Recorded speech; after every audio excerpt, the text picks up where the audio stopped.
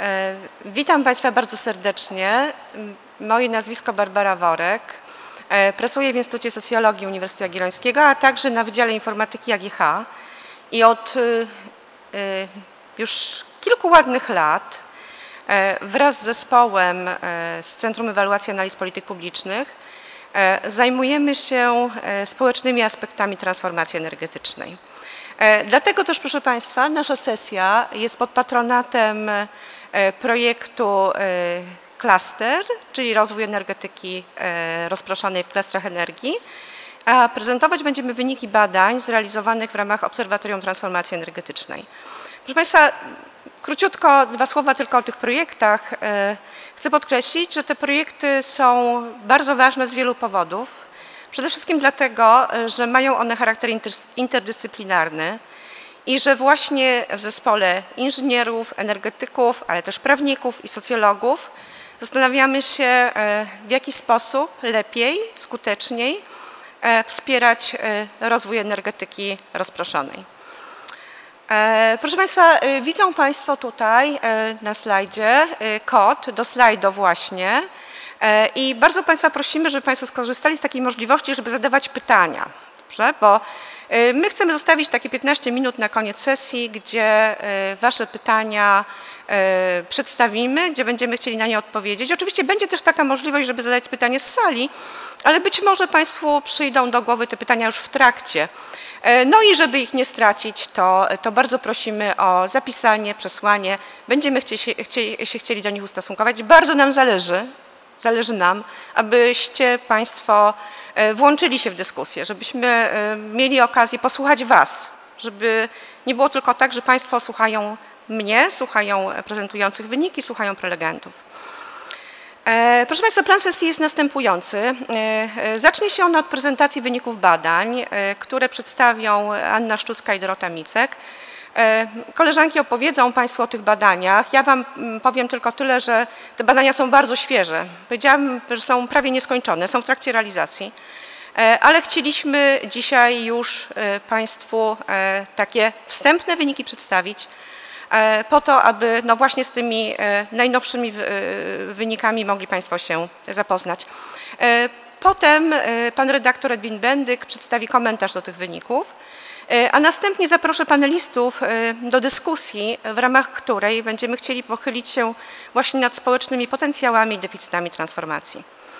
E, proszę Państwa, ja chcę podkreślić, że transformacja energetyczna dotyczy każdej i każdego z nas. W różny, stos, w różny sposób i w różnym stopniu. I oddziaływanie na nas i nasze życie zależy od tego, kim jesteśmy, co robimy, jakie role pełnimy w życiu zawodowym i prywatnym ale zróżnicowany jest tylko stopień. Wpływu jak, jako takiego nie da się uniknąć. Można go zaakceptować, wykorzystać jako szansę lub traktować jako zagrożenie, buntować się przeciwko niemu. Tak czy inaczej ta transformacja nas dotyka i dotyczy. E, jeśli patrzymy na nią z perspektywy zwykłego użytkownika energii, to transformacja energetyczna ma wpływ bezpośrednio na nas przez ceny prądu, decyzje dotyczące ogrzewania naszych mieszkań, jakość powietrza, powiedziałabym szerzej, nasze style życia, prawda, wybory, konsumpcję, tak, y, modę i tak dalej. Nie chcę rozwijać tego tematu. Tak czy inaczej będzie stawiała nas przed wyborami, mm, na przykład takimi wydawałoby się prostymi. Jaką ofertę dostawcy energii wybrać? Czy może tę z prądem eko z zielonej energii? Choć nie do końca wiemy, e, co to de facto oznacza na przykład w ofercie Tauronu. E, jak efektywnie wykorzystać energię? Czy może z odbiorcy y, stać się prosumentem? Prosumentem, czyli de facto, jak wczoraj usłyszeliśmy, mikroproducentem, ponieważ nie zużywamy wyprodukowanej przez nas energii, tylko oddajemy ją do sieci.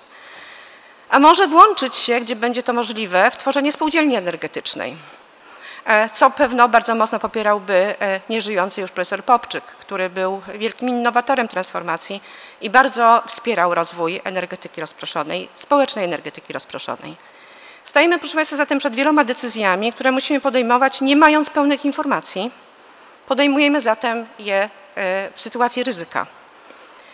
Jeśli dodatkowo ktoś z naszych bliskich pracuje w sektorach powiązanych z energetyką, czy na przykład w górnictwie, mieszka w regionie, którego gospodarka opierała się na węglu i tradycyjnej energetyce, może doświadczyć zmian, które przeorganizują jego życie. I to nie tylko zawodowe. Zmieni się specyfika miejsca, w którym żyje, krajobraz, kultura, a może też role rodzinne. E, transformacja stworzy wyzwania, naruszy stabilność, przewidywalność, ale otwiera też nowe możliwości. Szczególnie na tych nowych możliwościach chciałabym się koncentrować. Jeśli ktoś z kolei jest przedsiębiorcą, może zmierzyć się z wysokimi cenami energii, szukać sposobów na optymalizację swojego działania albo znaleźć w transformacji szanse dla nowych kierunków działań. Radykalne kryzysy otwierają e, nowe możliwości. To tak zwany blue ocean, błękitny ocean możliwości, które nie są jeszcze e, rozpoznane. Nowe perspektywy wymagające odwagi, wymagające umiejętności e, wykorzystania ich. Nasze horyzonty działania, proszę Państwa, czy to w życiu prywatnym, czy w zawodowym, wyznaczają nasze zasoby. Zasoby kapitału ludzkiego, społecznego czy kulturowego i ramy określone przez otoczenie prawne, polityczne i ekonomiczne. Istotne są, jak podkreślał e, tegoroczny no, noblista Daryna Cemoglu, instytucje społeczne, czyli głęboko utrwalone wzorce działania, normy i wartości, którymi się kierujemy. Istotna jest wiedza, która jest kluczowym komponentem postaw, o czym zdajemy się zapominać w, dyskurs, e, w świecie, w którym nieustannie oddziałuje się na emocje, czy to w mediach, czy w dyskursie politycznym. Komunikaty dotyczące transformacji energetycznej, jak wielokrotnie to pokazywaliśmy na różnych webinariach realizowanych w projekcie Obserwatorium Transformacji Energetycznej, emocje te podsycają, bo dzięki nim zwiększa się oglądalność, dzięki nim zwiększa się klikalność, więc e, są e, często wykorzystywane. Tak czy inaczej, proszę Państwa, w Centrum Transformacji Energetycznej są ludzie. Dlatego też podczas tej sesji chcemy się przyjrzeć indywidualnym postawom wobec transformacji energetycznej, ich znaczeniu, możliwości oddziaływania na nie oraz, korzystając z obecności naszych panelistów, zastanowić się nad szansami rynkowymi, jakie transformacja energetyczna stwarza. E, na koniec pozwolę sobie zacytować e, e, Imorego Lewinsa, fizyka, twórcy koncepcji megawatów, megawatów, aktywisty ekologicznego, który powiedział, że transformacja energetyczna to nie tylko kwestia technologii, ale przede wszystkim zmiana w sposobie myślenia. E, zapraszam teraz e, Anię, e, Annę Szczucką, Dorotę Micek do przedstawienia wyników naszych badań, po to, aby przyjrzeć się tym sposobem myślenia Polek i Polaków o transformacji energetycznej. Bardzo proszę.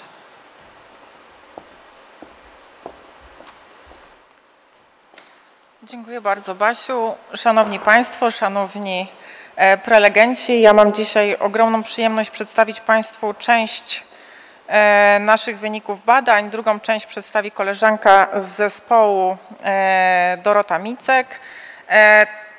Jesteśmy zespołem społecznym, który realizował ten projekt w ramach Obserwatorium Transformacji Energetycznej i nazwaliśmy sobie ten projekt Energia w życiu codziennym Polek i Polaków. Natomiast jeśli chodzi o cel całego naszego badania, to może nawiązałabym do tej sesji, która miała miejsce wczoraj. Na trzecim piętrze i dotyczyła innowacji i kadr. I tam padło takie zdanie, że transformacja energetyczna to jest oczywiście przede wszystkim zmiana, ale niekoniecznie przede wszystkim zmiana technologiczna, ale zmiana świadomościowa. I ona w, dużym mierze, w dużej mierze, tam padło chyba nawet stwierdzenie, że driverem tej zmiany świadomościowej jest kapitał ludzki, czyli wiedza, czyli umiejętności, czyli postawy ludzi, ale mam wrażenie, że nie tylko profesjonalistów, którzy oczywiście będą od strony technologicznej tą transformację prowadzić, ale także ten kapitał ludzki, którego nośnikiem jesteśmy my jako społeczeństwo i to, co my uważamy na ten temat, jakie jest nasze przekonanie, może tą zmianę e, i tą transformację energetyczną albo przyspieszać, albo spowalniać. I my po prostu chcieliśmy się przyjrzeć w tym badaniu, gdzie tak naprawdę jako społeczeństwo e, jesteśmy teraz. E, w tym naszym myśleniu, w tej naszej świadomości o transformacji energetycznej chcieliśmy poznać postawy, przekonania ludzi i też takie codzienne praktyki, to co oni na co dzień robią i uważają, że jest skuteczne w przeciwdziałaniu tej na przykład zmianom klimatycznym, czy korzystne dla transformacji energetycznej. E, Tak jak powiedziała tutaj profesor Worek, badania są bardzo świeże, a my jeszcze sami mieliśmy e, kilka e, dni temu dopiero się z nimi zapoznaliśmy, więc to Państwo są tą pierwszą publicznością, której je prezentujemy i tak jak zwykle jest taki hura optymizm w sytuacji, kiedy te wyniki do nas spływają. Chcielibyśmy się z Państwem podzielić bardzo wieloma rzeczami, które nam się wydają ciekawe. Może być tak, że nie doszacowaliśmy trochę czasu w kontekście tego, co chcemy Państwu pokazać, więc czasami może być tak, że troszkę będę pewne rzeczy przyspieszać. E, o badaniu powiem Państwu tylko takie podstawowe założenia. Interesowało nas to, żebyśmy zbadali jak najszersze społeczeństwo, bo wszyscy w nim uczestniczymy. E, interesowały nas osoby dorosłe od 18 lat do 75, reprezentatywne. Kontrolowaliśmy region pochodzenia, miejsce zamieszkania, wiek, płeć i sytuację, e, sytuację zawodową. E, no właśnie, wczoraj też e, na sesji plenarnej prezydent Miszalski powiedział, że no jakby wszyscy już obserwujemy i nie możemy zaprzeczać tym zmianom klimatycznym, które się dzieją, nie możemy ich lekceważyć, także jako miasto i jako społeczeństwo. No i nas interesowało w ogóle, czy my jako społeczeństwo uważamy, że zmiany klimatyczne i te negatywne konsekwencje, które no, jakby są przypisywane tym zmianom e, klimatycznym, to jest w ogóle ważny problem dla e, społeczeństwa. No i w dużym skrócie okazuje się, że jest, że uważamy, że jest to ważny problem. 70% Polaków uważa, że to jest ważny lub bardzo e, ważny problem, więc wydaje się, że to jest całkiem, całkiem przyzwoity wynik. E, oczywiście nieco ważniejsze uważamy, że jest dla świata i nieco mniej ważne dla Polski, czyli to, co my możemy zrobić, to jest trochę mniej niż mógłby zrobić e, świat, ale to też nas nie zaskakuje jako, jako socjologów. No i jeśli chodzi też o takie grupy, które nieco mocniej dostrzegają ten problem, to są przede wszystkim kobiety i one są bardziej spójne w tych swoich poglądach. Mężczyźni są trochę bardziej rozproszeni i nieco niżej u, u, uważają ten, e, ten problem za ważny, ale także osoby z wyższym wykształceniem. To, co nie różnicuje i co dla nas było zaskakujące, to y, wiek. To znaczy wiek różnicuje, ale nie w taki oczywisty sposób, bo spodziewalibyśmy się, że te różnice generacyjne przede wszystkim będą w dużej mierze różnicować to, czy uważamy, że to jest ważne, czy nieważne. E, no musimy się jeszcze przyjrzeć tym badaniom, e, poczekamy jakby na, na ich całokształt i będziemy to analizować, ale w tym momencie ta zależność nie jest taka liniowa, ona bardziej wygląda jak parabola, czyli dla tych najmłodszych grup i tych najstarszych ten problem jest nieco ważniejszy, dla tych środkowych nieco e, mniej ważny. To, co natomiast najbardziej różnicuje nas w tym podejściu, e, to, e, proszę Państwa, poglądy polityczne.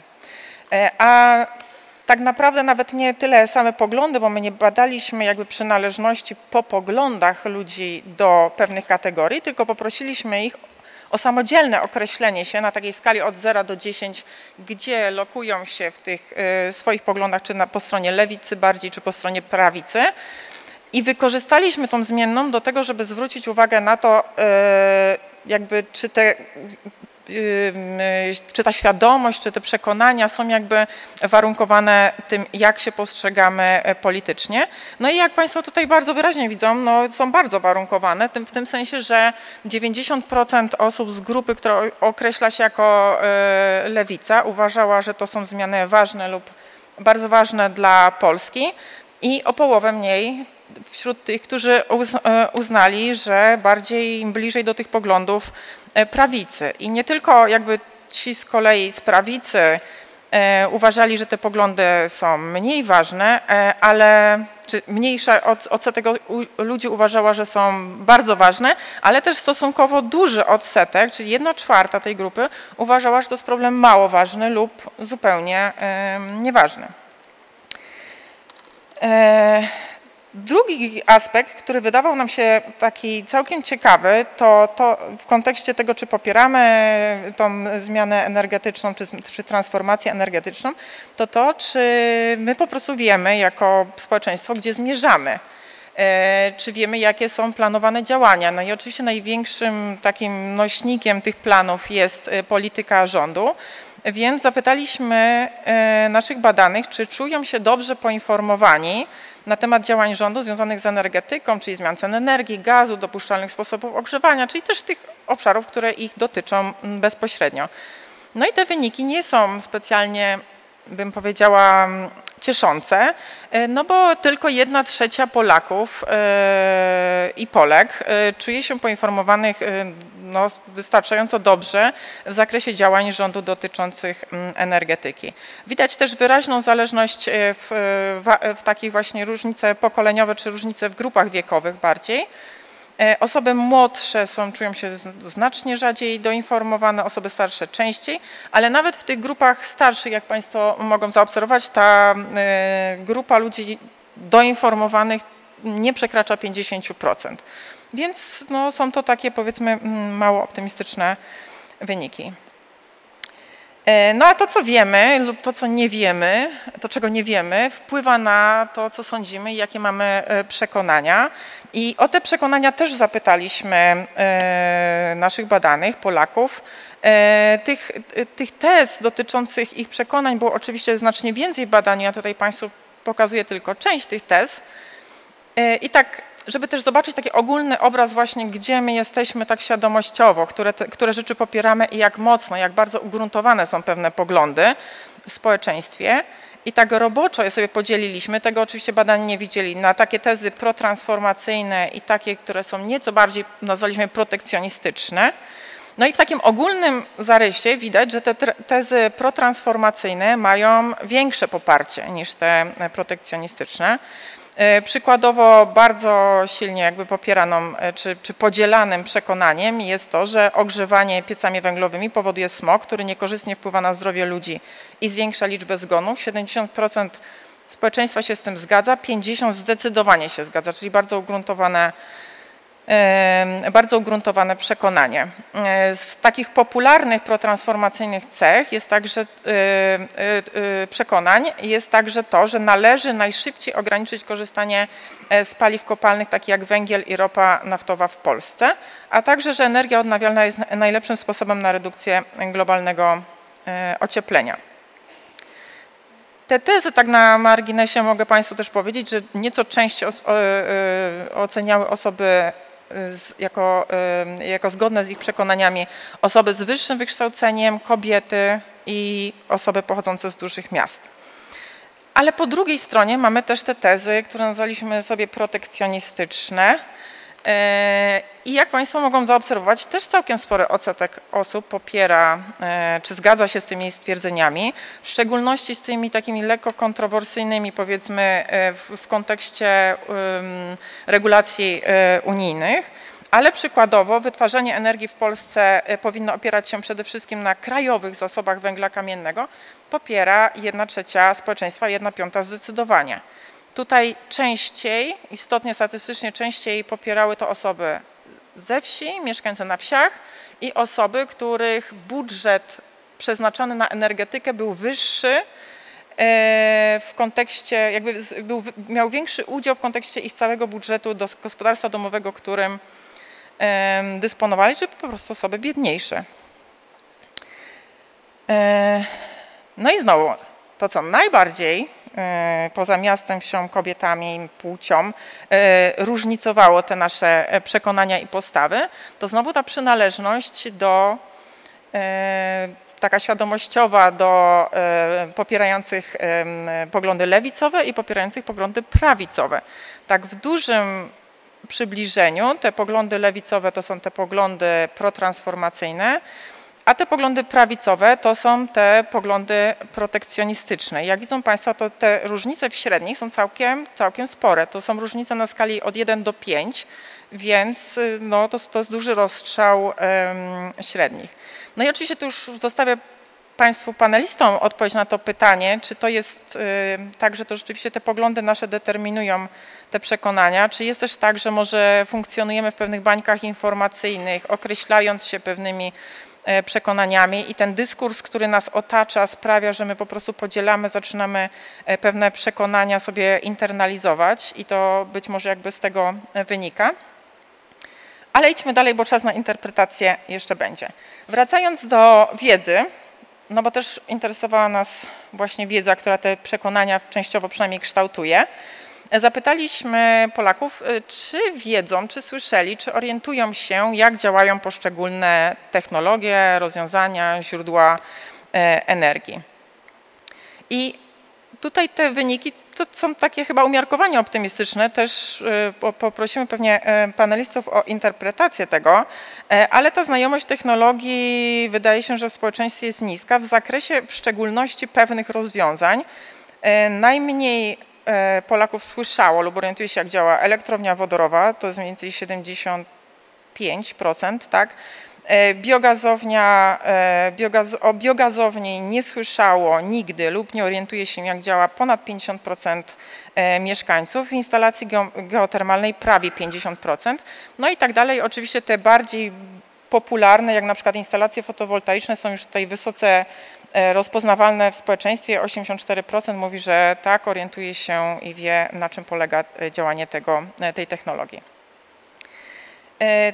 Tym, tym czynnikiem, który, czy tą cechą, która też różnicuje tą wiedzę jest w dużej mierze wiek w tym przypadku i osoby młode są szczególnie, posiadają szczególnie niską wiedzę o tych technologiach.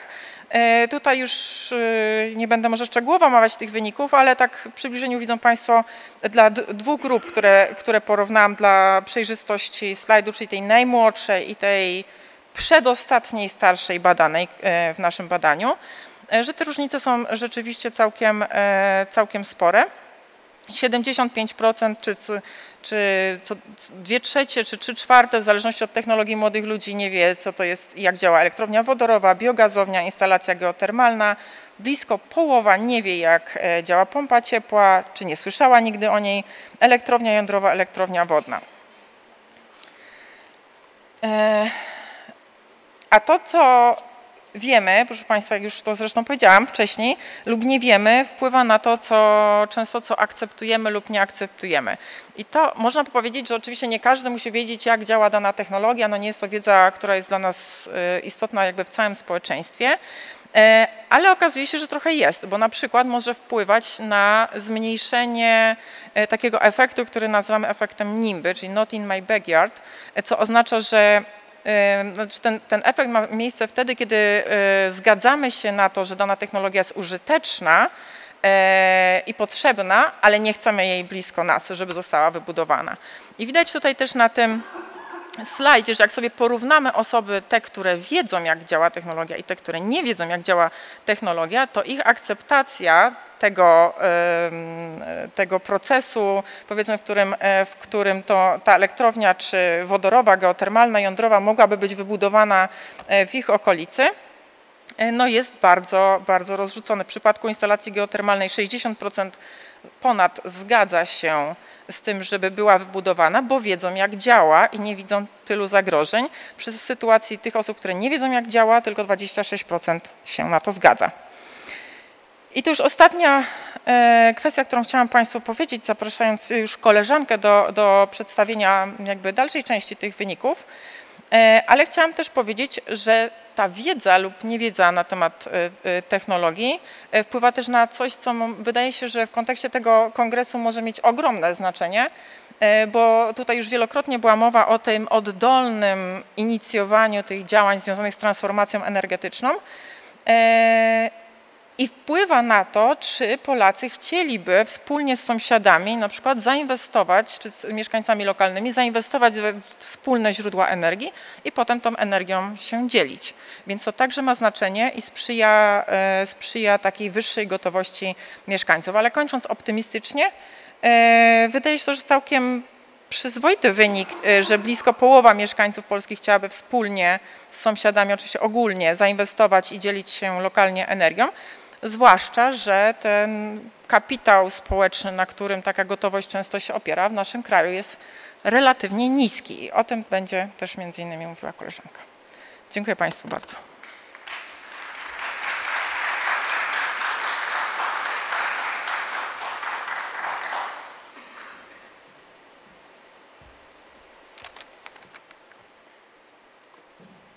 Witam Państwa bardzo serdecznie.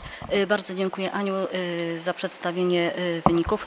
Kontynuując, chciałabym na wstępie dodać, że kolejne slajdy ukazujące wyniki naszych badań ukażą nam trochę naszą kondycję, jeżeli chodzi o zrozumienie pewnych działań, pewnych elementów, gotowość ekonomiczną, taką, takie inwentarzowe podejście troszeczkę co mamy, czego nie mamy, gotowość do ponoszenia kosztów, czyli partycypowania, partycypowania również y, w myśleniu o tym, kto i za co powinien być odpowiedzialny, y, a na koniec przedstawię Państwu wyniki dotyczące y, wskaźników zaufania społecznego i zaufania, jeżeli chodzi o pewne aspekty związane z transformacją energetyczną.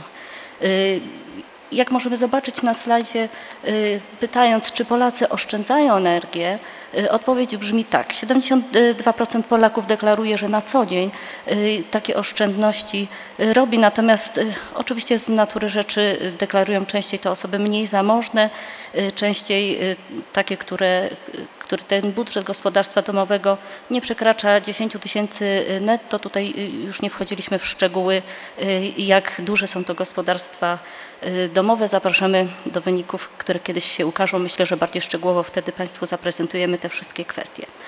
Y, niemal co drugi Polak y, twierdzi, że jego zdaniem to w jaki sposób korzysta z energii na co dzień, y, to jest, ma to bardzo duży lub duży wpływ na środowisko i klimat. Taką świadomość częściej deklarują osoby powyżej 45 roku życia. Pewnie to się składa również z tymi wynikami poprzednio przedstawionymi, czyli ta nieco starsza grupa, bardziej wyedukowana, y, bardziej y, posiadająca nieco większą już wiedzę. Y, czy Polacy doświadczają trudności z ogrzaniem domu, mieszkania w okresie jesienno-zimowym z uwagi na koszty, czyli jak wygląda nasza kondycja ekonomiczna i nasza taka gotowość ekonomiczna do ponoszenia pewnych kosztów, które transformacja energetyczna za sobą niesie? Co trzeci Polak zadeklarował nam, że doświadcza trudności z takim ogrzewaniem domu w okresie właśnie zimowo-jesiennym z uwagi na koszty. Y, jak sobie radzimy, jak sobie Polacy radzą z tymi trudnościami? Przede wszystkim obniżają temperaturę w mieszkaniu, w domu poniżej takiego własnego komfortu, Również y, rezygnują z ogrzewania niektórych y, pomieszczeń, czyli generalnie mniej oszczędzamy swój dom, żeby te koszty y, obniżyć. Częściej te trudności oczywiście, co naturalne, dotykają tych mniej zamożnych Polaków, te gospodarstwa, które, których budżet jest poniżej 10 tysięcy netto. Jakie Polacy mają ogrzewanie? Czym ogrzewamy nasze domy i mieszkania? Najczęściej jest to gaz. Co trzeci y, Polak tak zadeklarował. Y, niemal też co trzeci Polak y, deklaruje, że jest to podłączenie do sieci ciepłowniczej, co daje nam sumę 60%.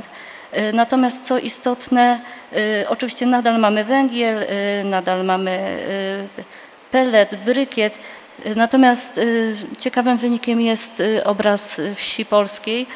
Tam co czwarty mieszkaniec wsi i co dziesiąty małego miasta ogrzewa swój dom y, węglem, więc y, tutaj widzimy, że jeszcze sporo rzeczy jest y, do zrobienia. Ile Polacy płacą za energię elektryczną i ogrzewanie? Średnio rzecz biorąc jest to około 20, 12%. Średnio natomiast niemal 40% Polaków, dla niemal 40% Polaków ten koszt y, energii elektrycznej, energii i ogrzewania to ponad 10% miesięcznego budżetu gospodarstwa domowego. Y, patrząc na wyniki w podgrupach widzimy, że niemal co czwarta osoba w wieku 65-75, czyli z tej najstarszej kategorii naszej badanej, wydaje na opłaty za energię średnio miesięcznie ponad 20% budżetu. Czy dużo, czy mało, to y, myślę, że nasi Państwo paneliści y, odniosą się do tego. Natomiast y, osoby wieku 35-44, czyli w takim wieku dość mocno aktywnym na rynku pracy, wydają na energię i ogrzewanie nie więcej niż 5% swojego budżetu domowego. Polacy mają plany modernizacyjne w najbliższym roku Zapytaliśmy o to mieszkańców domów jednorodzinnych, którym, których w naszym badaniu było między, około 55% y, i 39% z nich y, stwierdziło, że takie plany posiada. Najczęściej y, będą modernizować będą ponosić koszty związane z termomodernizacją budynku, z instalacjami fotowoltaicznymi, a także myślą o magazynach energii. Myślę, że to takie deklaracje i świadomość konieczności inwestycji tutaj składa się nam taki, na taki obraz partycypacji i zmian w sposobach użytkowania energii. Jakie te koszty? Czy Polacy są gotowi uczestniczyć też ekonomicznie i finansowo w zmianach, które następują? Zapytaliśmy, czy są skłonni zapłacić więcej za energię, która byłaby w całości całkowicie zielona. 39% Polaków twierdzi, że tak, że byliby w stanie wydać miesięcznie więcej na tą zieloną energię i ta skłonność, widzimy na slajdzie, że ona rośnie nam z wiekiem. Generalnie najmłodsi, bardzo możliwe, że z racji swojego statusu na rynku pracy tę skłonność mają niższą, natomiast ona rośnie wraz z wiekiem. I oczywiście, co naturalne, te osoby z najniższymi budżetami domowymi tę skłonność mają niższą. Dochodzimy do tych momentów, w których zastanawiamy się, kto ponosi, kto powinien uczestniczyć i brać odpowiedzialność za pewne inwestycje, które wpływają na poprawę jakości powietrza w Polsce. Polacy zgadzają się, że rząd i samorządy powinny wspierać te wszystkie działania i najwięcej osób wyznacza ocieplanie, termoizolację budynków, inwestycje w te odnawialne źródła energii, ale też są to sytuacje zmiany tak naprawdę zmiany naszego ogrzewania, naszego użytkowania energią. To jest wymiana pieców węglowych, też podłączenia indywidualnych gospodarstw domowych do sieci ciepłowniczej. Czyli ten, ten, to wsparcie w zmianie sposobu ogrzewania wydaje się tutaj dosyć mocno istotne i Polacy chcieliby, aby było to wspierane przez rząd i samorządy. Którym instytucjom ufają Polacy? Wiemy, że wszystkie, jeżeli kochamy, to jeżeli ufamy i kochamy, to zgadzamy się na wiele rzeczy. I tutaj ta sytuacja zaufania jest bardzo istotnym wskaźnikiem takiej gotowości do zmian i gotowości i wiarygodności pewnych działań. Największym zaufaniem Polacy darzą władze lokalne, lokalne miasta i gminy. Na drugim miejscu plasuje się Unia Europejska, natomiast co około trzecia osoba deklaruje, że ufa również urzędnikom i administracji publicznej. Rządowi także niemal co trzeci Polak ufa. Dlaczego ważne te wskaźniki? Bo zapytaliśmy jeszcze, w jakim stopniu Polacy ufają, że rząd lub przedstawiciele samorządu lokalnego realizując inwestycje w odnawialne źródła energii zapewnią i, zapytaliśmy o kilka aspektów. W nieco, w nieco większym, znaczy naj, najbardziej Polacy ufają, że że i rząd, i instytucje samorządu lokalnego zapewnią bezpieczeństwo działania inwestując w odnawialne źródła energii. Natomiast kolejnym czynnikiem jest to uwzględnienie potrzeb mieszkańców bardzo istotne i tutaj te różnice mamy znaczące, dlatego że co naturalne wydaje się mieszkańcy, Polacy wierzą, że to uwzględnienie potrzeb mieszkańców tak naprawdę zabezpiecza samorząd lokalny, to jemu można w większym stopniu ufać. A czemu nie ufają Polacy lub ufają w mniejszym zakresie? To jest to, że zarówno samorząd lokalny, jak i zarówno dotyczy to rządu, że w mniejszym stopniu zapewnią uczciwy wybór wykonawców.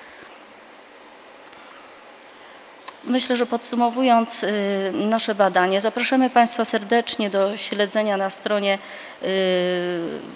projektu informacji i raportu z badań, który pewnie niedługo się ukaże. Wtedy będziemy mogli więcej szczegółów Państwu przekazać i w większych interesujących przekrojach. A w dniu dzisiejszym kończąc zapraszam Panią Profesor do, do, i panelistów do dalszego komentowania. To ja może jeszcze brawa, proszę Państwa, dla Doroty. E, proszę Państwa, przejmuję moją funkcję moderatora, bo tak odeszłam, ale wracam do Państwa już i zapraszam pana redaktora Edwina Bendyka i proszę gorąco o komentarz do e, wyników tych badań. Bardzo proszę panie redaktorze.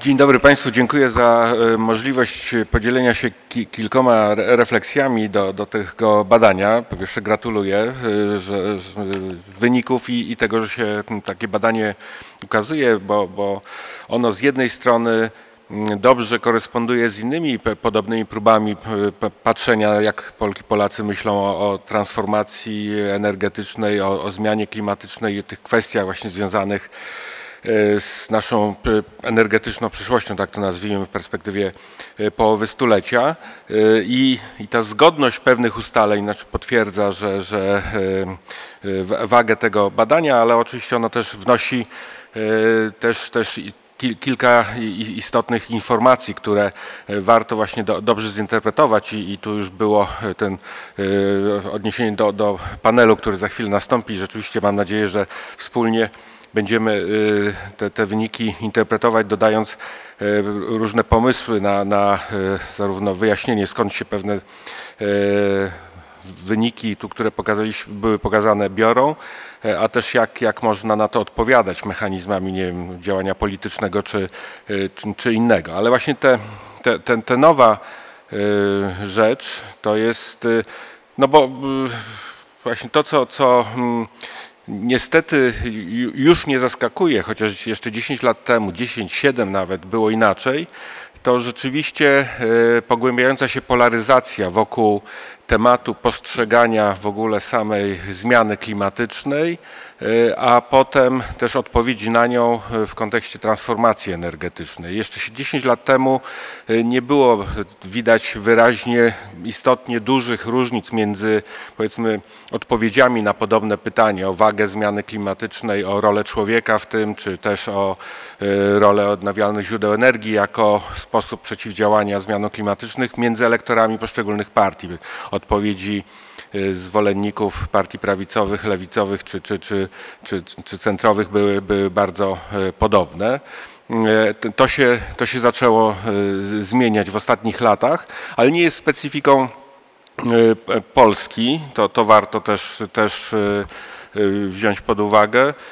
W niektórych krajach ta, ta bitka właśnie postawy wokół, wobec zarówno klimatu, i, i y, mm, odpowiedzi na nią poprzez na przykład transformację energetyczną, rezygnację z węgla i paliw kopalnych, no jest kwestią wręcz tożsamościową to Stany Zjednoczone. Tam elektorat republikański, elektorat demokratyczny to wręcz jest y, ta kwestia podejścia do do, do, do zmiany jest, jest kwestią tożsamościową. W Polsce nie jest tak silnie, ale weszliśmy w trochę inny mechanizm. To, to jest pewna propozycja jakby od razu interpretacji. Pamiętam trzy lata temu współpracowałem z taką y, fundacją brytyjską Counterpoint, który, czy think tankiem y, Counterpoint, który wtedy badał y, w Europie, w różnych krajach europejskich, również w Polsce, możliwość, oni postawili hipotezę, że e, może się pojawić pokusa wśród ugrupowań populistycznych na wykorzystanie tak zwanego zielonego klina, czyli nowy impuls do kreowania właśnie polaryzacji, pozyskiwania elektoratu wokół właśnie tematów związanych e, z zieloną transformacją i jej kosztami. Znaczy, że koszty transformacji staną się czymś w sytuacji kryzysowej, co będzie elementem budowania poparcia. No i, i w, zeszłym roku no, mieliśmy już ewidentnie e, eskalację te, te, tego typu argumentacji w większości krajów e, Unii Europejskiej e, w ramach kampanii, zarówno i w tym roku też w ramach kampanii do Parlamentu Europejskiego. Więc, więc tu jesteśmy w ramach jakiegoś procesu, który jest, jest y, wspólny dla, y, dla Europy. I niestety taką szansę, którą 10 czy nawet kilkanaście lat temu, pamiętam, z kilkoma osobami formułowałem, żeby właśnie zieloną transformację potraktować jako pewien temat budowy wizji przyszłości ponad podziałami, no chyba już odeszła w przeszłość, że teraz musimy e, znajdywać inne sposoby komunikowania e, o transformacji, za tym, o tym za chwilę, niż, niż taka wizja, że jest coś, co nas nie, nie dzieli. No jednak to też zaczęło dzielić. Ale przejdźmy do takich informacji, które są tutaj też moim zdaniem bardzo istotne. E, no to jest duży potencjał jednak społeczny, jeśli chodzi o, o, o, e, przeprowadzenie transformacji, jeżeli odpowiednio się ją właśnie zakomunikuje i poruszy odpowiednie zasoby.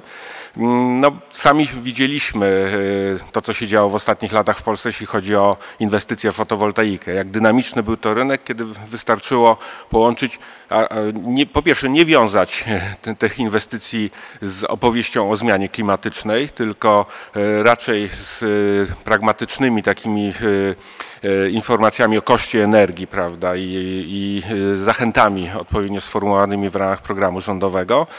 I, I, w ciągu kilku lat ta moc zainstalowana osiągnęła, zbliżyła się do 20 gigawatów, prawda? W związku z czym czy potencjał jest udowodniony praktycznie, nawet nie badaniami i deklaracjami, tylko po prostu postawami, tymi, co zrobiliśmy sami w naszych domach. E, a jednocześnie e, e, to pozwala też patrzeć poważnie na pewne deklaracje. I tu jest ciekawa, uderzyła mnie ta informacja o gotowościach, o gotowości Polaków do płacenia więcej za zieloną energię. I ten wskaźnik, ten najwyższa deklaracja wśród najstarszego, najstarszej części, czy najstarszej kohorty badanych. I znowu, tu nie powinniśmy być zaskoczeni, tylko sobie przypomnieć, Polskę sprzed, z przełomu lat 80. i 90. i rolę wtedy nie zmian klimatycznych, tylko ekologii e, w transformacji i, też mobilizacji społecznej na rzecz e, transformacji. E, no, ruchy ekologiczne wtedy były bardzo silne i również świadomość ekologiczna Polek i Polaków była większa niż teraz. Znaczy badania pokazują, że w 90, teraz nie pamiętam, drugim lub trzecim roku ponad 70% y, Polek i Polaków w znacznie biedniejszym społeczeństwie, w samym środku jeszcze y, takiego, można powiedzieć, traumy transformacyjnej, deklarowało, że jest gotowych do, płacić więcej, za, znaczy poświęcać, czy część dochodów przeznaczyć na to, żeby poprawić jakość środowiska naturalnego. Prawda?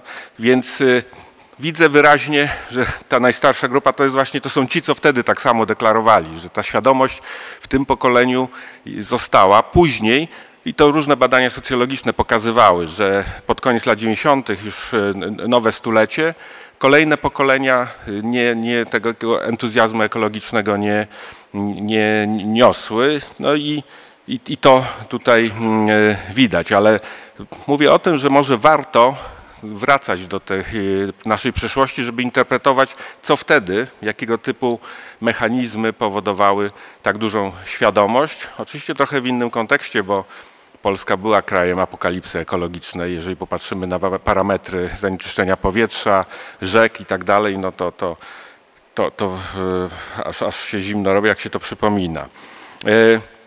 To, co jest y, oczywiście uderza, ale zaskoczeniem nie jest, bo to niestety wszystkie badania pokazują, że wbrew optymistycznym założeniom, że y, młodzież y, mająca dostęp do, do, do wiedzy i też y, coraz lepiej nominalnie, tak w kategoriach jakby y, długości lat spędzonych w szkole, coraz lepiej wykształcona powinna więcej, lepiej rozumieć sprawy zarówno klimatu, jak i, jak i transformacji energetycznej, tego nie wie.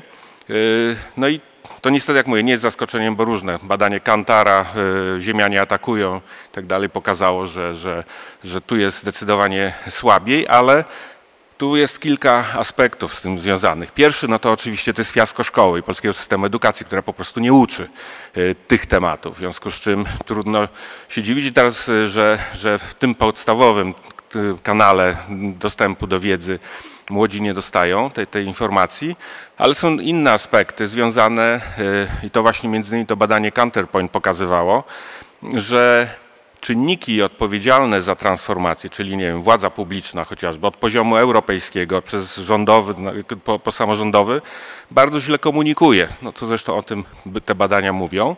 E, I zwłaszcza bardzo źle komunikuje, jeśli chodzi o dotarcie z informacją do młodych, którzy korzystają z zupełnie innych już mediów niż, y, niż ludzie y, z starszych grup wiekowych, bo na przykład nie oglądają telewizji. W związku z tym kampanie społeczne polegające na reklamach społecznych czy, czy finansowanych przez, przez agencje rządowe w telewizji nie mają żadnego sensu i nie, nie niosą wiedzy.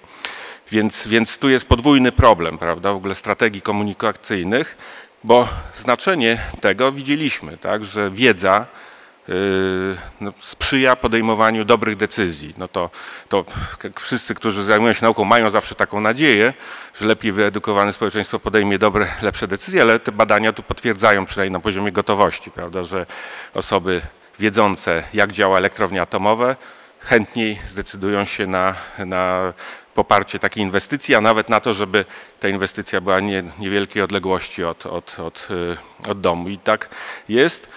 Natomiast jeżeli e, taki dodatkowy komentarz do, do badań e, mm, czy do tych pytań o działanie technologii, tych no, no, nowych technologii energetycznych i bardzo słabe wyniki, a już najbardziej słabe właśnie w młodym pokoleniu, no musimy pamiętać też o, o, o taki były dwa lub trzy lata temu Eurobarometr robił badanie o mm, postawie społeczeństw e, krajów Unii Europejskiej do nauki i do technologii. E, my mamy w Polsce, znaczy uzyskaliśmy najgorsze wyniki, jeśli chodzi o nasze zainteresowanie odkryciami naukowymi i e, innowacjami technologicznymi, zarówno w grupie ogólnej, jak i w grupie młodzieży. Także po prostu też nie jesteśmy zainteresowani, prawda, jako, jako społeczeństwo, mimo że mamy enklawy innowacji i tak dalej, jeżeli weźmiemy uśredniony obraz, to niestety on nie daje dobrej podstawy właśnie do takiej mm, prowadzenia polityki opartej na wiedzy, bo po prostu z drugiej strony nie do końca jest odpowiednio duża masa zainteresowanych taką wiedzą. I to jest na pewno poważne e, wyzwanie. Ono się wiąże z e, problemem, który zidentyfikowali badacze robiący badanie o nowym negacjonizmie klimatycznym dla E, Fundacji Pola Dialogu. To badanie było, to między innymi profesor Przemysław Sadura to, to, to robił, e, który w zeszłym, e, ono było jesienią zeszłego roku opublikowane i z niego właśnie wynika, że ci niechętni, którzy też którzy chcą zbijać kapitał polityczny, na przykład na, na tym zielonym klinie, o którym wspomniałem, zmieniają strategie komunikacyjne i dzisiaj właśnie ten nowy negacjonizm klimatyczny nie polega na negowaniu wprost zmian klimatycznych, bo widać, że to już nie ma sensu w Polsce. Zdecydowana większość Polek, Polaków rozumie, że zmiany klimatyczne, kryzys klimatyczny jest faktem y, i też coraz więcej nie ma wątpliwości, że człowiek jest za to odpowiedzialny, ale ta strategia polega na rozmiękczaniu zmiękczaniu podejścia do, do, do, do tego. Czyli mówi, no tak, zmiany są, ale na przykład transformacja w tym sposobie, jaki proponuje Unia Europejska, jest bez sensu, bo tylko powoduje wzrost kosztów, prawda? A po co my się mamy w Europie na, napinać, skoro Chiny, y, co nie jest prawdą, bo akurat najwięcej inwestują w transformację energetyczną, ale mówimy, że Chiny nic nie robią, to dlaczego my mamy prawda, robić. Jest y, takich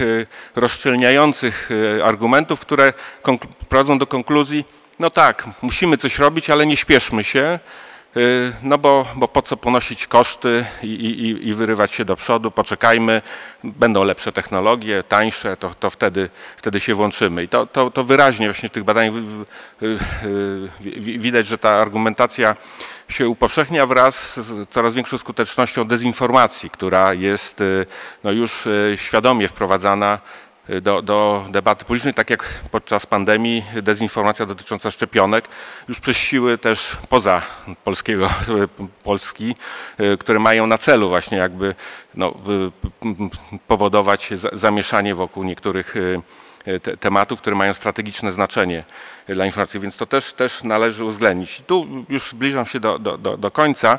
Bardzo ciekawa e, odkrycie właśnie tych badań e, pola dialogu bo pani profesor wspomniała na początku, że właśnie trzeba no, z dużą rozdzielczością taką patrzeć na to, na, na wyniki, uwzględniać, że inaczej może kształtować się opinia w obszarach górniczych, inaczej, inaczej wiejskich, inaczej wielkomiejskich i oczywiście to, to jest słuszne spostrzeżenie, natomiast to zeszłoroczne badanie pokazało, że akurat na przykład w obszarach górniczych jest większa świadomość Y, konsekwencji zmian klimatycznych i większa też gotowość, większe poparcie dla odnawialnych źródeł energii większa gotowość na odejście od węgla.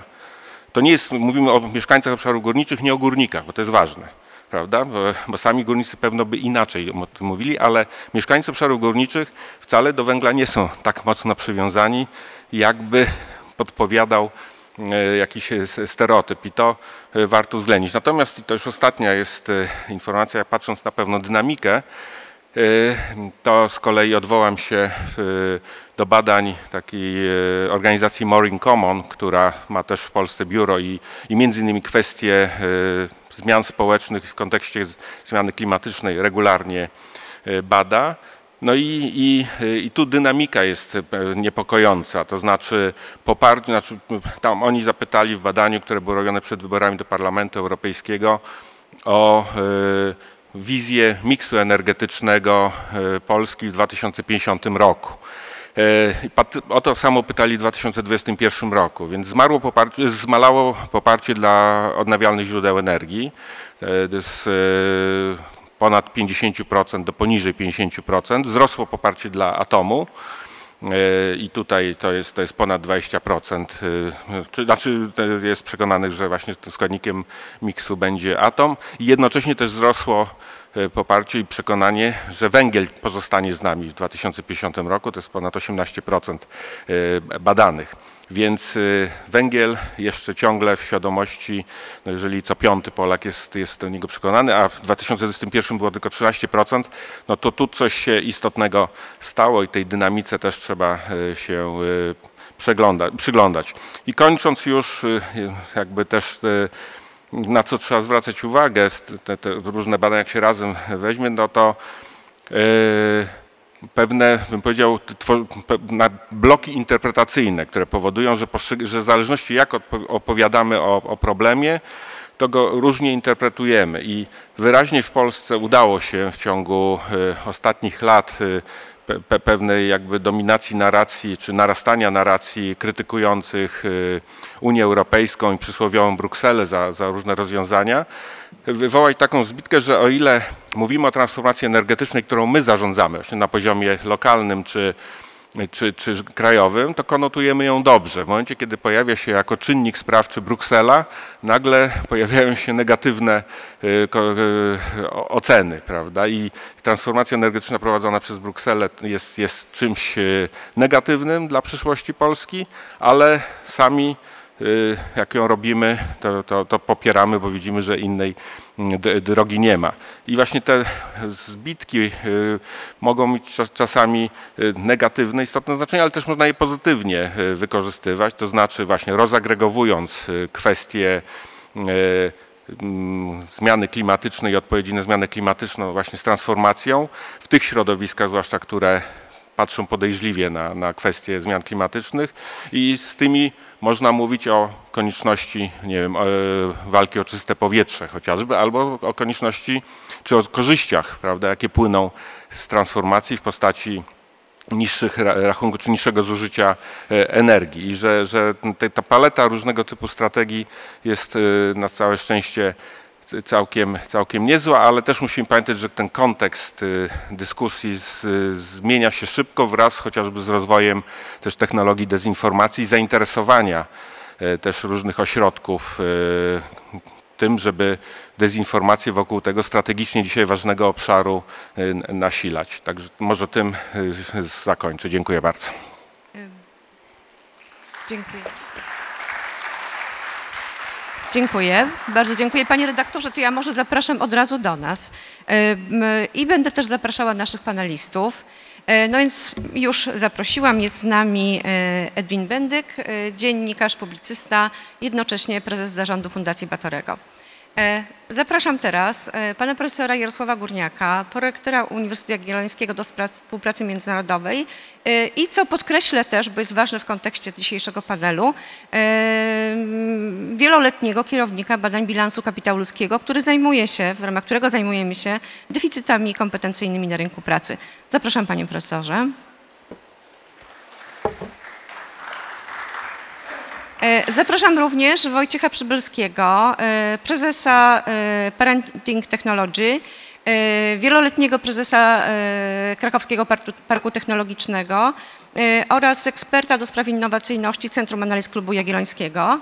Zapraszam, witam. Zapraszam Marka Stranca, który, co podkreślę tutaj, proszę Państwa, mamy taką pewną dominację socjologów, więc podkreślę, e, Marek Strans wykształcenia inżynier elektronik, specjalista OZE, ale też, co bardzo ważne, ambasador transformacji energetycznej. E, zapraszamy. I zapraszam również e, panią profesor Aleksandrę Wagner, która specjalizuje się w socjologii energii, komunikacji społecznej i e, prowadziła wieloletnie badania dotyczące transformacji energetycznej, ale też komunikacji i kwestii związanych z przemianami technologicznymi. Zapraszam pani profesor. I, i zapraszam, zapraszam, zapraszam również pana prezesa Artura Zawiszę, E, prezesa, prezesa zarządu Unii Producentów i Pracodawców Przemysłu Biogazowego, e, przedsiębiorcę i co podkreślę tutaj e, w kontekście tego panelu również, że z inicjatywy Unii Producentów i Pracodawców Przemysłu Biogazowego powstaje w w Jabłoniu na Lubelszczyźnie branżowe Centrum Umiejętności w dziedzinie bioenergetyki. Witam serdecznie panie prezesie, bardzo dziękuję.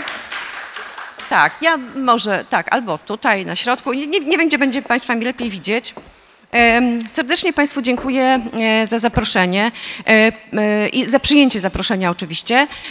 Proszę Państwa, ja moje pierwsze pytanie skieruję do Pani Profesor Aleksandry Wagner. Oczywiście chcielibyśmy te wyniki prawdopodobnie komentować i każdy z nas ma jakieś swoje przemyślenia i refleksje. Natomiast chciałabym, żebyśmy trochę wrócili do takiego, mm, do, przede wszystkim do, do tematu naszej sesji do e, społecznych potencjałów i deficytów e, transformacji energetycznej.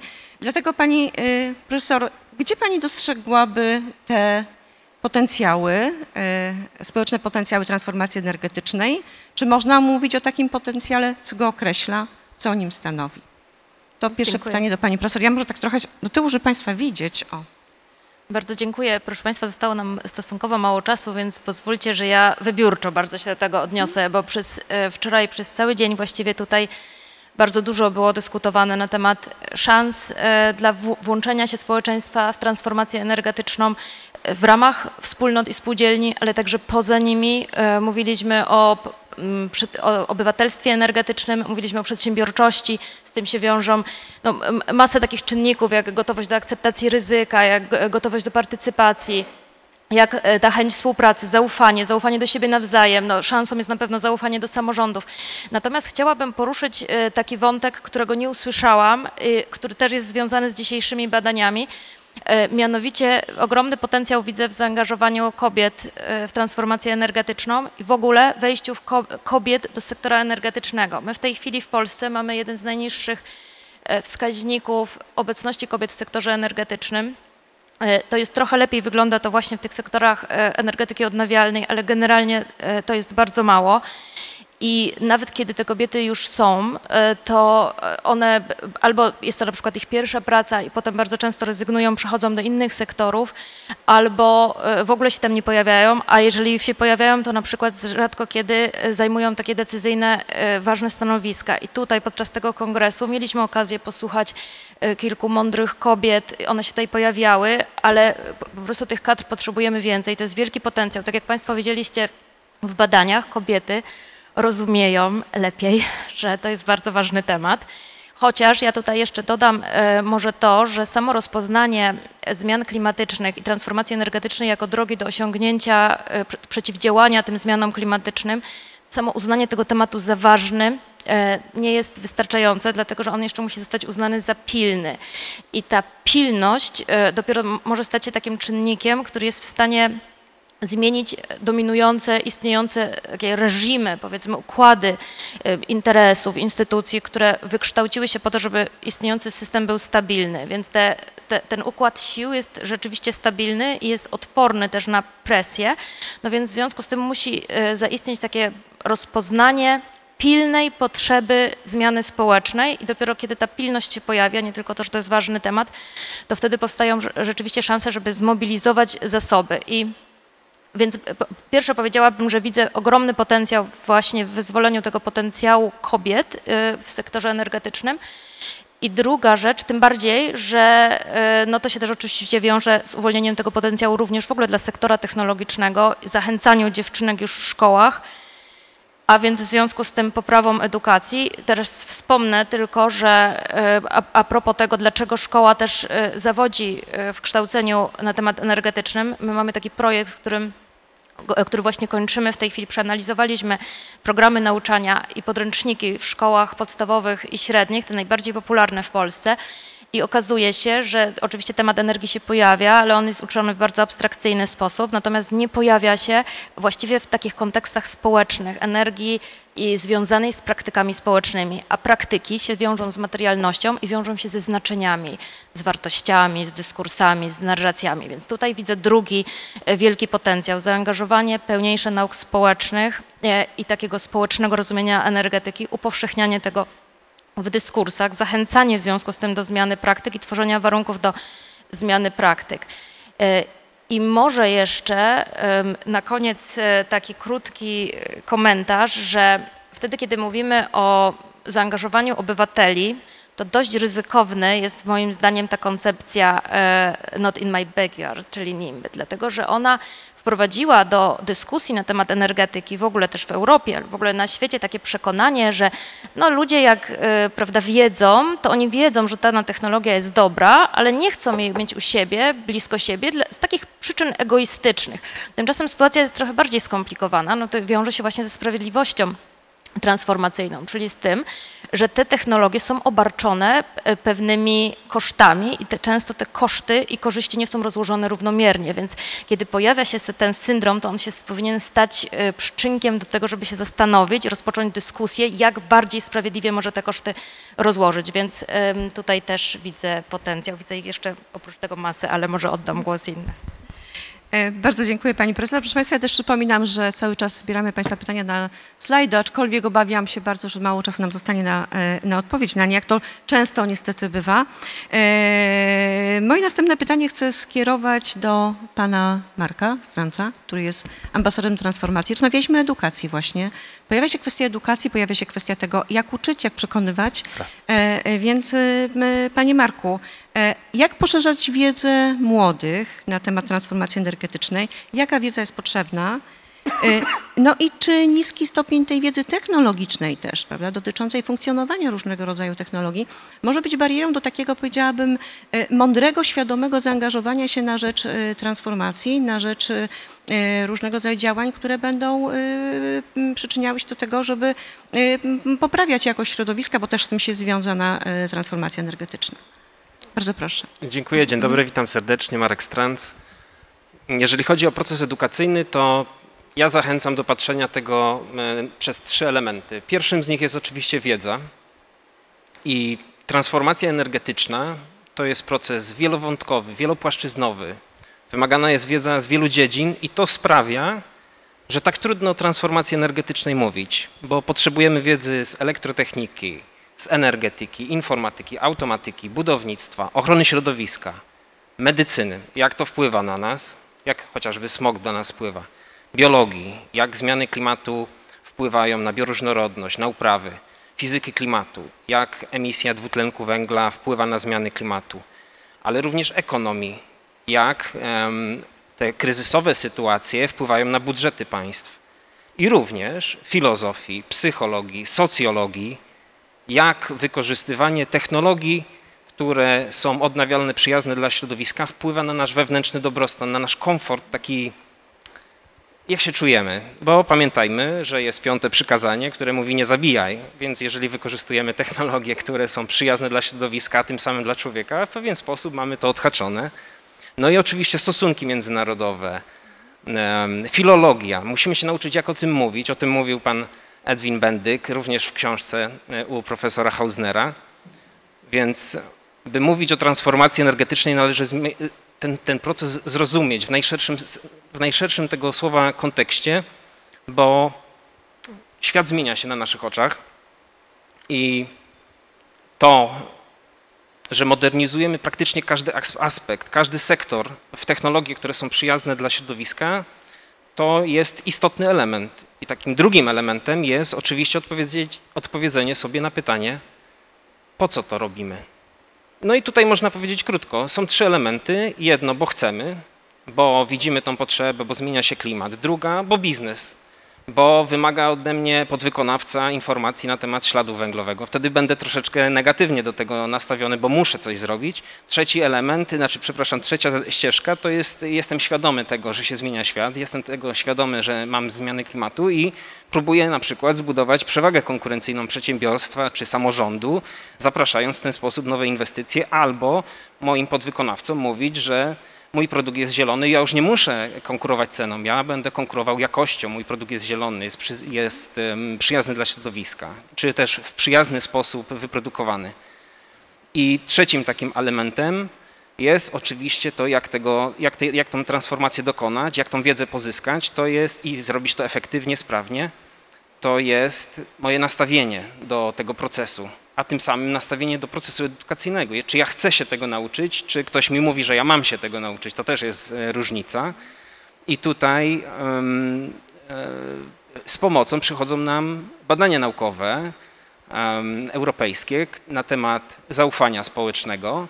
I szanowni Państwo, e, Polska wypadła na zaszczytnym trzecim miejscu pod względem zaufania społecznego od końca. Za nami jest tylko Bułgaria, jeżeli dobrze pamiętam, Cypr i Serbia. Także mamy duże wyzwanie w tej kwestii. I co może na zakończenie, czego my potrzebujemy? Potrzebujemy, zgadzam się z tym i to też wyniki badania potwierdzają, że potrzebujemy z jednej strony interdyscyplinarnej wiedzy, potrzebujemy określenia właściwie celu i to, co jest najistotniejsze i to też wybrzmiało, Potrzebujemy zaufania społecznego do siebie, do procesu, które nas w tym wszystkim złączy. To może na tyle. E, bardzo dziękuję Panie Marku. Proszę Państwa, e, ja tak nie powiedziałam tego, proszę o krótkie wypowiedzi, ale też Państwo widzę, że się trzymają bardzo tego reżimu. Bardzo dziękuję.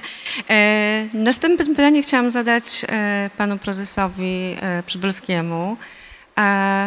Widzieliśmy w wynikach badań, że wielu osób uważa, że transformacja jest narzucona przez Unię Europejską i korzystają na niej firmy zagraniczne. E, jakie, e, jak e, by Pan skomentował ten wynik? I też może odniósł się do tego, jakie szanse dla naszych firm stwarza transformacja energetyczna. Przepraszam za ogólność pytania, to jest na wielogodzinną debatę, a nie na krótką wypowiedź, ale bardzo proszę, może się uda. Tak. Bardzo dziękuję. E, no, mi się wydaje, że w ogóle jest tak, że większość biznesu, bo teraz pani profesor rozróżniła, rozumiem, na biznes kapitałowo polski i zagraniczny, a moim zdaniem niezależnie od tego, jakby gdzie jest kapitał w tym biznesie, to większość biznesu patrzy na energetykę absolutnie pragmatycznie. Tak? To znaczy z grubsza patrzy tak, jak patrzy na nie społeczeństwo, jakby z tych wyników badań i tych wcześniejszych komentarzy widać bardzo wyraźnie, że E, tematy i klimatyczne, i energetyczne, e, no jakby my nie trafiliśmy w momentum, tak? Znaczy, jeżeli było momentum na to, żeby one stały się jakimś tam driverem społecznej świadomości, też identyfikacji politycznych i tak dalej, no to ono pewno było 20 lat e, temu, nie w tym momencie. Jakby ten efekt, który nie wiem, w Niemczech spowodował nie, że był taki fenomen polityczny możliwy jak Partia Zielonych, on w Polsce się nie wydarzy. Chyba jedynym, tak, partią w Polsce, która w swojej komunikacji nawiązuje do tych tematów jest y, Razem, które tam przed podziałem zdobywało 3% poparcia, a teraz pewno zdobywa dwa razy po pół, półtorej. Y, y, to się nie stanie i tak samo jak jest w biznesie, tak? To znaczy biznes patrzy radykalnie pragmatycznie. Ja mogę Państwu powiedzieć, że przez te prawie 10 lat, kiedy pracowałem w parku technologicznym, czyli podmiocie, który zarządza strefę ekonomiczną, czy też polską strefą inwestycji, czyli obsługuje inwestorów i polskich zagranicznych przychodzących do e, części Polski. Ja nie pamiętam ani razu z dziesiątek, jak nie setek spotkań z inwestorami, żeby ktoś zapytał o wątki związane z transformacją energetyczną. Więcej, ja nie pamiętam, żeby ktoś zapytał o cenę energii, mimo że ceny energii, jak wiemy, w Polsce mamy relatywnie wysokie. Tak? Czyli jeżeli w ogóle wątek energetyki się pojawiał w tych rozmowach z inwestorami, on dotyczył li jedynie be, bezpieczeństwa dostaw. Tak? Znaczy inwestorów interesowało to, czy prąd będzie, tak? czy jest GPZ, czy ma moce wolne do wykorzystania. Niektóre biznesy przemysłowe ewentualnie e, pytały o to, czy są dwie niezależne linie, tak? to znaczy, czy jest to jakby jest backup, jeśli chodzi o e, zasilanie. Wydaje mi się, że biznes interesuje się transformacją energetyczną z przyczyn czysto pragmatycznych jeżeli firmy wykorzystują ten wątek, to A, albo tak jak mówił mój przedmówca, czyli w takim wątku konsumenckim, to znaczy mówiąc, nasz produkt jest lepszy, bo jest bardziej zielony, jest bardziej y, przyjazny klimatycznie i tak dalej, to jest po prostu element y, y, szerzej rozumianego marketingu. Oczywiście jest pewno tak, że w jakiejś mierze transformacja energetyczna jest o tyle szansą i to pewnie będzie szansą szczególnie dla przedsiębiorstw z polskim kapitałem, że ona tam, gdzie będzie następowała, a będzie się następowała również z przyczyn czysto pragmatycznych, y, może lewarować innego rodzaju zmiany w firmach, tak? Znaczy może po prostu lewarować to, że zmieniając na przykład, czy dostawiając jakiegoś rodzaju na przykład źródło zasilania, OZE ma magazyn energii, cokolwiek, to będzie równocześnie lewarowało inne innowacje, inne zmiany w firmie. W tym sensie jakby ten wpływ może być potencjalnie E, e, potencjalnie pozytywny. E, mam jeszcze taki ostatni chyba komentarz, to znaczy z tych badań bardzo wyraźnie wynika um, umiarkowana ufność społeczeństwa polskiego do państwa, co może być zaskakujące, szczególnie, że akurat z takich sukcesów państwa polskiego w ostatnich latach, no to akurat w dziedzinie energetyki mamy przynajmniej dwa duże projekty, które się udały, dzięki którym ten gaz, którym się ogrzewamy albo na którym gotujemy rosół w niedzielę cały czas jest, prawda, czyli Baltic Pipe i terminal LNG w Świnoujściu. Ale mi się wydaje, że to się do społecznej świadomości nie przedostaje. W sensie ludzie nie wiedzą, kto w ogóle nie obchodzi, dopóki ten gaz jest, to mało to kogo e, interesuje. Ale ja bym tu widział pewnego rodzaju szansę. Znaczy tą szansę widziałbym w, w tym samym efekcie, który spowodował, że 20 lat temu czy 30 lat temu E, w społeczny sposób e, telefonizowano o polską wieś, a e, do dzisiaj kanalizuje się polskie wsie i miejscowości. To znaczy w nas jest taka jakby naturalna tendencja do tego, że jeżeli nie wierzymy, że państwo coś dla nas zrobi, to sami się organizujemy i staramy się to załatwić. I w tym sensie widziałbym jakąś szansę na to na przykład, że mądrze zaprojektowane mechanizmy wsparcia takiego na przykład wspólnotowej energii rozproszonej, tak, o to było też pytanie w tych badaniach, one mają szansę paradoksalnie właśnie dlatego, że średnio ufamy, że ogarnie nam to państwo, ministerstwo, polskie sieci energetyczne i tak dalej, ale jak się skrzykniemy z kilkudziesięcioma sąsiadami i coś razem zrobimy, na przykład y, z wsparciem państwa czy samorządu zainwestujemy w magazyn energii, no to tutaj widzę pewnego rodzaju potencjał do wykorzystania. Bardzo dziękuję. E, bardzo dziękuję. Ciekawa jest ta kwestia zielonej energii, bo ona wczoraj pojawiła się też na sesjach i, i, rzeczywiście pojawia się taka uwaga, że firmy o to pytają, prawda? To mówił akurat e, pan prezydent Kulik, że się pojawiają takie pytania, ale to się może też zmieniać, prawda? E, jeśli biznes i edukacja, to kompetencje. E, I teraz zwracam się do pana profesora, pana rektora Jarosława Górniaka. E, panie profesorze, czy transformacja energetyczna wymaga od nas nowych kompetencji? I jakich kompetencji potrzebujemy, żeby wykorzystać możliwości, jakie transformacja stwarza. Na przykład pan prezes mówił o tych nowych możliwościach, e, w związku z czym, no właśnie, czy potrzebujemy nowych kompetencji? Jeśli tak, to jakich?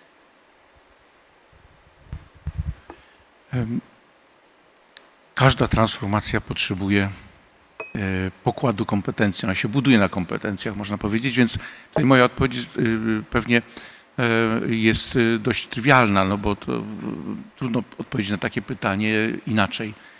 Tutaj była mowa właściwie o czymś, co e, Pan mówił o tym, co się nazywa w takim lub innym wydaniu zielonymi kompetencjami. To są, różnie są klasyfikowane, różne się dorzuca zakresy do tego. Generalnie, jak się mówi o tych zielonych kompetencjach, to, się, to zwykle się próbuje to klasyfikować tematycznie, znaczy jaki rodzaj wiedzy powinien być dostępny po to, żeby ludzie sobie lepiej radzili z tymi nowymi wyzwaniami, jak, jak, brak jakich, jakiej wiedzy powoduje to, że na przykład y, mają większy opór wobec nadchodzących zmian. Tu zresztą w tych badaniach widzieliśmy, że chociażby jeden z takich wymiarów kompetencja, a mianowicie znajomość te, mniej więcej tego, w jaki sposób funkcjonują poszczególne e, e, rodzaje źródeł energii, tak, typu, typu elektrowni, wpływa na to, czy ludzie są skłonni akceptować e, ich budowę w pobliżu swojego miejsca zamieszkania, czy też nie. No to, to są bardzo ewidentne wyniki. Tak? Widać, że to prawdopodobieństwo akceptacji jest większe wtedy, kiedy się wie w tym zakresie więcej. No ale e, tak naprawdę to e, tak jest z każdą sprawą, można powiedzieć, w życiu, że jak się ona pojawia, to e, dobrze, żeby mieć nową wiedzę, najlepiej wiedzę ekspercką, wiedzę krytycznie weryfikowaną na dany temat, żeby umieć tę wiedzę znaleźć, krytycznie ocenić i następnie odnieść do swojego własnego działania i swojej własnej sytuacji. No i tu sięgamy do następnej rzeczy, a mianowicie można powiedzieć do takiego, tego, co moglibyśmy nazwać fundamentem kompetencyjnym, e, co decyduje o tym, że jedne społeczeństwa tak naprawdę są w stanie lepiej się adaptować do wyzwań transformacyjnych, inne gorzej. Jedne stają się przez to w konsekwencji tak naprawdę bogatsze, a inne sobie z tym gorzej radzą. I takie pytania sobie zadają właściwie y, już od dość dawna badacze e, kapitału ludzkiego. Najpierw wiązano to dość prosto z tym, że e, no lepiej sobie będą w tym zakresie radziły te społeczeństwa, których po prostu ludzie zdobywają przez dłuższy czas wiedzę, w związku z tym nabywają tej wiedzy więcej. I e, były modele tworzone od, od lat 50. od Jakuba Mincera, pochodzącego zresztą z Polski, z Warszawy, E, amerykańskiego ekonomisty, e, e, co najmniej dwóch noblistów, uzyskało Nagrody Nobla, właściwie pokazując w jaki sposób oto ten przyrost wiedzy związany także z okresem kształcenia, z czasem kształcenia, przekłada się następnie na to, że gospodarki rosną szybciej bądź wolniej. Ale y, coś było w tym niepokojącego, bo trudno się było pogodzić po prostu, że y, jakby skonsumowanie przez więcej lat y, tego procesu dydaktycznego doprowadzi nas do lepszych możliwości w tym zakresie. Gdzieś się odzywało to pytanie o jakość. I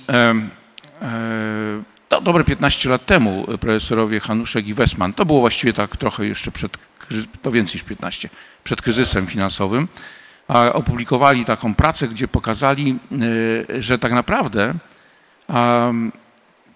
długookresowy wzrost gospodarczy, jego tempo, które nam się w Polsce swoją drogą udało przez te 30 lat, jak profesor Piątkowski bardzo ładnie pokazuje,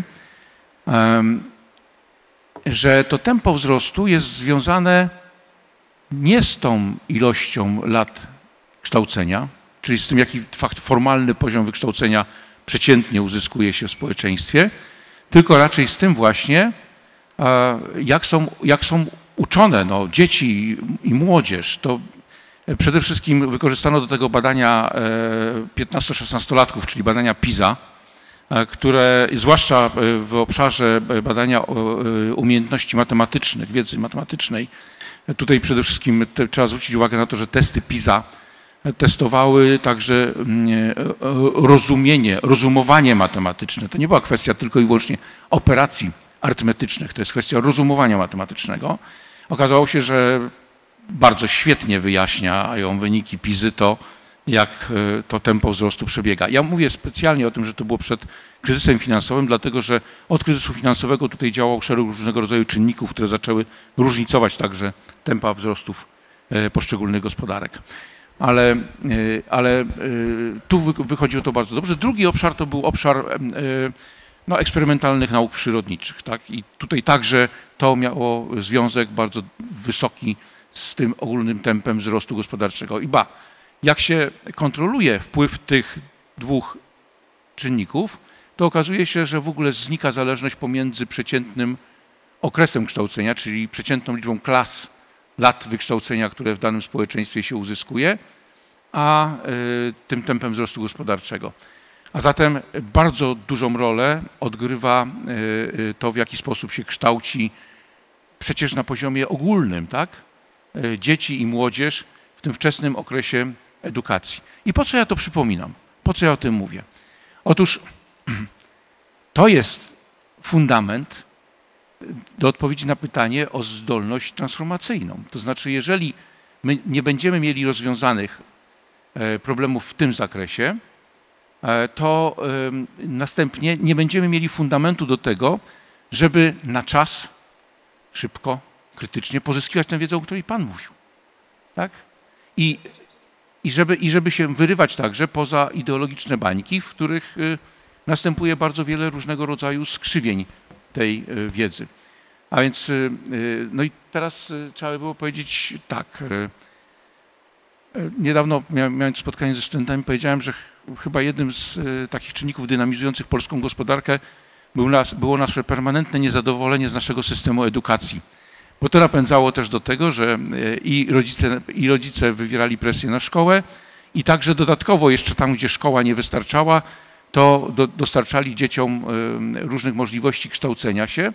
W związku z tym e, to, co łatwo zauważyć, i to nie jest zasługą żadnej partii politycznej, dlatego że to jest pewnego rodzaju proces, który, który był niezależny od tego, kto Polską rządził, systematycznie wzrastały wyniki w testach PISA uzyskiwane przez polską młodzież. No jak teraz z drugiej strony zobaczymy to długookresowe tempo wzrostu, które e, po Chinach lokowało nas właściwie na drugim miejscu globalnie i spowodowało, że jesteśmy w zupełnie innym miejscu gospodarczo, jak mówię, które też nie jest zasługą żadnej partii politycznej, jest to bardzo dobrze, bo mówimy tutaj o długofalowych procesach. Nikt sobie nie może przypisywać chwały w tym zakresie do końca tylko raczej jest to kwestia e, tych sił przedsiębiorczych e, i pracy, ciężkiej pracy, ale roztropnej, jak widać, która się w Polsce dokonywała, to można powiedzieć, że na pewno pewnym predyktorem dla sukcesu gospodarczego i zdolności transformacyjnej było to, że w połowie lat 90., jak Państwo byście śledzili wyniki Cebosu, Cebos badał to, aspiracje polskich rodziców w stosunku do wykształcenia dzieci były, były na niewiarygodnie wysokim poziomie. Panie, panie profesorze, bardzo dziękuję. Przepraszam, muszę przerwać. E, tak, ponieważ właściwie czas nasz się e, skończył, ale zabrano nam wcześniej 10 minut, więc my też może zabierzemy.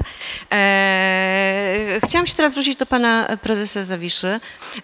Panie prezesie, profesor Aleksandra Wagner wspomniała o tym efekcie NIMBY. Też w wynikach badań widzieliśmy, że poziom akceptacji społecznej dla biogazowni jest generalnie najniższy. E, tak, no właśnie, e, a to obszar Państwa działalności. I tu znów jakby e, właśnie, to jest pytanie, czy wiedza jest rozwiązaniem, czy może jak profesor Wagner mówiła, jednak ta sama wiedza nie wystarczy, więc bardzo prosiłabym o krótki komentarz. Dziękuję w kilku punktach. Po pierwsze, no, mamy tu wszyscy świadomość, że energetyka rozproszona i obywatelska tym się jednak różni od konwencjonalnej, że tymi inwestorami nie są przede wszystkim koncerny energetyczne, a właśnie obywatele, inwestorzy. I to bardzo mocno jednak y, może i wpływa na świadomość społeczną, bo wspominaliśmy te prawda, słynne panele na dachach y, polskich y, domostw, ale ja mogę dodać instalacje biogazowe bardzo często zintegrowane z gospodarstwami rolnymi czy hodowlami zwierzęcymi. I ci obywatele, którzy są inwestorami, siłą rzeczy nie protestują przeciwko tym inwestycjom, bo E, nie są obserwatorami transformacji, ale partycypantami, mhm. czy mówiąc inaczej, nie są outsiderami, ale insiderami transformacji, którą sami współtworzą. Oczywiście skala tego jest dość ograniczona, ale to są realne inwestycje, jak Polska długa e, i szeroka w różnych branżach, większe, e, mniejsze. Druga kwestia jest taka, że energetyka rozproszona daje miejsca pracy. Tu ja dziękuję pani profesor, że wspomniała o branżowych centrach umiejętności, bo my podczas wczorajszych warsztatów OBCU mówiliśmy o dwóch bioenergetycznych w powiecie parczewskim na Lubelszczyźnie i powiecie tczewskim na Pomorzu, które jako organizacja branżowa współtworzymy, ale także inspirowaliśmy branżę fotowoltaiczną do BCU w ich dziedzinie w Kujawsko-Pomorskim, branżę energetyczno-wodną do BCU w Wielkopolsce, ochronę środowiska do BCU na Mazowszu. I wczoraj myśmy się na warsztatach spotkali dzieląc się pozytywnymi doświadczeniami, ale chodzi o to, że z tych centrów umiejętności jako placówek edukacyjnych e, dających kwalifikacje techniczne będą wychodzić na razie setki, a później tysiące pracowników e, branży e, OZE, no, którzy pracując w tych firmach nie będą oprotestowywać tak, własnych miejsc pracy. Natomiast no, zbliżając się tu do konkluzji, jeżeli idzie o ten szeroki powiedzmy no, obywatelski e, pogląd, e, no to tutaj odpowiedź jest tyleż e, banalna, co, co, co wymagająca konsekwencji, cierpliwy dialog. Kiedy my jako już nie organizacja, ale firma prowadziliśmy jedną z inwestycji biogazowych w województwie podlaskim, e, to tam Rada Gminy trochę sobie uzurpowała rolę Rady Nadzorczej naszej spółki i nas tak jakby rozliczała z działań, ale myśmy to przyjęli do wiadomości się grzecznie, cierpliwie tłumaczyliśmy, a kiedy już inwestycja powstała i miejscowy proboszcz ją poświęcił, to pomogło, a nie zaszkodziło akceptacji e, społecznej tej inwestycji i dlatego tutaj ostatnia nuta polemiczna do pana redaktora e, i jednocześnie prezesa wiadomej fundacji, e, który no najpierw trafnie skomentował węzłowe momenty tych prezentowanych badań, ale później dał się ponieść pasji, już tak mówił o dezinformacji, dodając, że spoza Polski, jeszcze brakowało, że pisanej cyrylicą. No panie redaktorze, jednak nie ma co na Polakach wymuszać postaw protransformacyjnych i ich stawiać do kąta, jak troszkę pan to robił, tylko trzeba cierpliwie rozmawiać z Polakami o realnie dziejącej się transformacji energetycznej. Bardzo dziękuję panie prezesie. Został, pan, pan redaktor został wywołany, ale też chciałam głos oddać panu redaktorowi, więc myślę, że jest czas na odpowiedź, ale jest też czas właśnie y, na, powiedziałam, takie trochę zamknięcie i, y, i y, nie wiem, sformułowanie rekomendacji.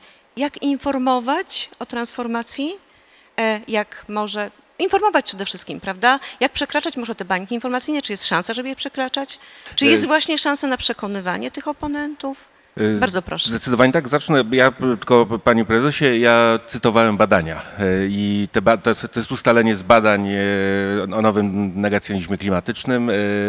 Także, także zachęcam, bo one są bardzo ciekawe i po prostu problem właśnie polega na tym, że skuteczna dezinformacja polega na tym, że ona się włącza w naturalne wątpliwości, jakie mają. Tak. I podsyca je. To jest, natomiast pańska odpowiedź i zresztą inne odpowiedzi, które tu były, że trzeba rozmawiać, prawda, stosować też różne mechanizmy włączania, tak? Które polegają na zmianie perspektywy, prawda? Właśnie z outsidera na insidera chociażby. Jeżeli jestem współwłaścicielem procesu, no to jestem jego potem rzecznikiem. To, to że mamy ponad milion gospodarstw zainstalowało panele fotowoltaiczne, to są najgorętsi zwolennicy, prawda, nowego systemu energetycznego i tak dalej. To, to pełna tutaj y, zgoda. Natomiast y, to, to co, bo, bo rekomendacje y, tu, pewno by trzeba było oddzielny panel zbudować. To, to co jest ważne, tylko jedną taką sumuję, że to jest bardzo dynamiczna rzeczywistość, która się z, z, zmienia. Y, tak jak mówiłem, nawet postawy, które już wydawały się, że znaczy mam przekonanie, że może być tylko lepiej, prawda, że wraz z działaniami będzie rosła akceptacja. No okazuje się, że w perspektywie dwóch lat na przykład e, względna akceptacja dla OZE zmalała na rzecz atomu. To dobrze, ale też powrócił węgiel jako, jako czynnik, prawda? W związku z czym nie przyjmujmy, że to jest jednokierunkowy wektor i że słuszność czy konieczność transformacji jest tak przez wszystkich jednakowo determinacją rozumiana, że to jest proces społeczny, który jest kształtowany przez wiele czynników y, i, i y, po prostu wiele trzeba uwagi poświęcić i, i, też rola nauk społecznych tutaj jest niezwykle istotna w rozumieniu właśnie tej dynamiki. Ostatnia rzecz właśnie to nawet jeśli chodzi o młodych, to, to były inne badanie, nie moja e, wina, nie mój problem, który pokazał, że jednym z czynników, który kształtuje postawy młodych ludzi w stosunku do transformacji, e, a zwłaszcza do oczekiwań, po, poświęceń z nią związanych, jest doświadczenie pandemii. Młodzi po, po tym, co myśmy im zrobili w czasie pandemii, po prostu nie są gotowi Y, do, do, do przyjmowania dodatkowych. Znaczy, to echo właśnie traumy pandemii jest jednym z istotnych czynników, który, który kształtuje ich świadomość dotyczącą przyszłości.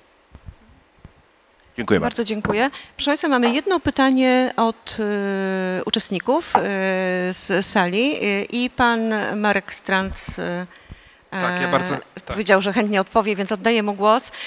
Tak, właściwie jesteśmy Państwa w czasie, tak, dokładnie do 10 ja minut, które mieliśmy, więc. Może jeszcze proszę. małym adwocem. Mhm. Na czym bazuje dezinformacja? No, dezinformacja bazuje na braku wiedzy. I jeżeli chodzi o aktywizm, to bardzo serdecznie zachęcam wszystkich aktywistów, którzy mają chęć do działania w tym kierunku, bo do, do, do nauki, ponieważ aktywista bez wiedzy jest jak ksiądz bez wiary i miłości. Po prostu będzie was można bardzo szybko i łatwo zdominować w debacie i pokazać też publiczności, że was po prostu nie, nie warto słuchać, a nie zachęca się do tego. Także edukacja, edukacja, edukacja jeszcze raz. Jeżeli chodzi o to, gdzie szukać wiedzy, to w sprawdzonych, potwierdzonych publikacjach, ciekawych y, książkach. Jedną, którą mogę polecić, to autorstwa Marcina Popkiewicza, który wczoraj zdobył nagrodę laureata dla najlepszej e, książki popularno-naukowej Zrozumieć transformację energetyczną, a jeżeli chodzi o odpowiedź na pytanie, to zachęcam bardzo serdecznie do kontaktu z krakowskim alarmem smogowym, z polskim alarmem smogowym. Te organizacje mają wypracowane mechanizmy, schematy działania do tego, jak można przekonać i budować świadomość przede wszystkim ludzką, jeżeli chodzi o temat związany z czystym powietrzem. Mają bardzo ciekawe projekty i tyle mogę z tej strony powiedzieć. Bardzo dziękuję. Bardzo dziękuję Panie Marku e, i dziękuję też e, wszystkim panelistom. Bardzo Państwu dziękuję za uwagę. Przepraszamy za to przedłużenie, e, no i też przepraszamy za to, że nie dajemy Państwu już na, czasu na zadanie pytań, ale nasi paneliści pewno zostaną na przerwę i będzie można podejść i zapytać. Także bardzo dziękujemy ślicznie wszystkim Państwu za obecność i ja dziękuję jeszcze raz panelistom.